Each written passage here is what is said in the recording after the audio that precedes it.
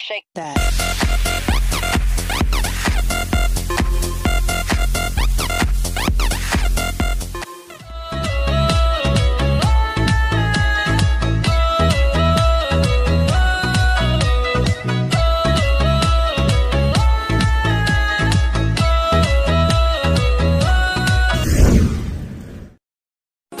और ये दिल तब से है कहने लगा